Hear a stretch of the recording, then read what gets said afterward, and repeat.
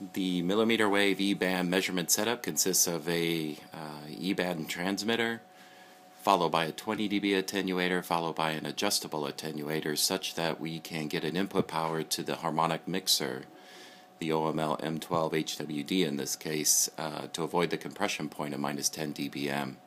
The external mixer is connected up to the spectrum analyzer for the measurement. In this way, we're able to look at the transmitter modulated output, which in this case has 1.4 gigahertz of bandwidth. This is the actual setup for making an E-band transmitter measurement. The elements here in the middle is the transmitter that's under test. Uh, to the right, we have the microwave synthesizer, and to the left, we have a handheld spectrum analyzer, in this case, the VNA Master from Anritsu. This configuration allows another approach to conducting the transmitter measurement using a spectrum analyzer.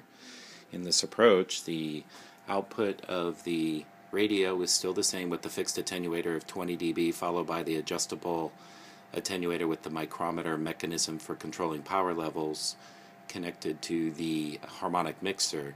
A new element in this setup is a diplexer that allows us to bring in the microwave signal and use it as an LO. In this case, it will be a, a times 5 high side LO mix. And uh, the IF includes a self bias attenuator so we can bring the signal back to the spectrum analyzer for analysis. In this way, we can do custom plans and optimize the setup for measurements using this external mixer approach. This is a measurement of the E-band transmitter output at 82.5 gigahertz using a 4 gigahertz band.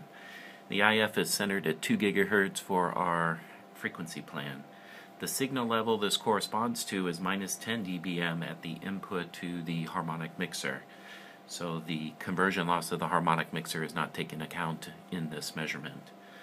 The uh, important part of this is that we can vary the input signal to uh, reduce the amount of attenuation with the adjustable attenuator and similarly we can reduce the signal level by increasing the attenuation. In this way we can characterize the E-band transmitter for channel power, spectrum mask, and other popular measurements.